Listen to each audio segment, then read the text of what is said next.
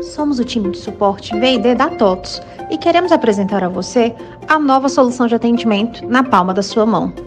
Conheça o nosso canal de atendimento pelo WhatsApp. Para entrar em contato conosco, adicione o nosso número à sua agenda, se identifique pelo seu CNPJ e escolha o produto desejado.